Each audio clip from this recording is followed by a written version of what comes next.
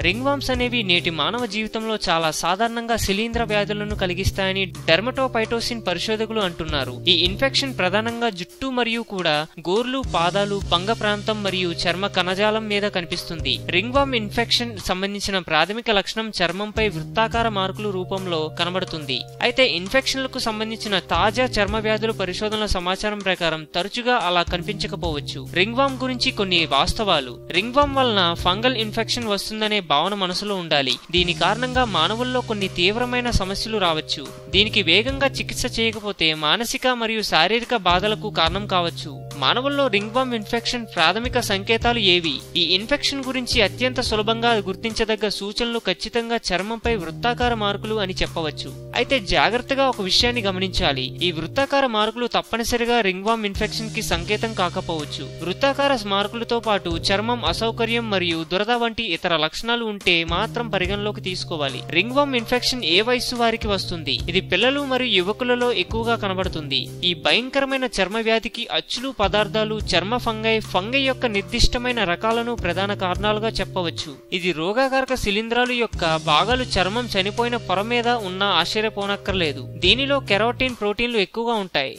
చర్మ శిలీంధ్రాలు మానవుల నుండి మానవులకు లేదా జంతువుల నుండి మానవులకు వ్యాపిస్తాయి. ఇది ప్రబలకుండా ఉండాలంటే అపరిశుభ్ర వ్యక్తులు లేదా జంతువుల పట్ల వ్యవహరించేటప్పుడు జాగ్రత్తగా ఉండాలి. మానవులలో రింగ్వామ్ ఇన్ఫెక్షన్ చికిత్స సాధ్యంగా మారింది. అలాగే మరింత సంహానంగా ఉంది. పాపులర్ ద్రావణ ద్రావణాలను ఉపయోగించి వ్యాధిని నయం చేస్తారు. అంతేకాక ఆసుపత్రిలో ఒక సమయోచిత యాంటీ ఫంగల్ చికిత్స తీసుకోవాలి. ఇన్ఫెక్షన్ పదే పదే వస్తుంటే రింగ్ వామ్ ఇన్ఫెక్షన్కి కారణం అయిన చర్మ ఫంగైని నివారించాలి.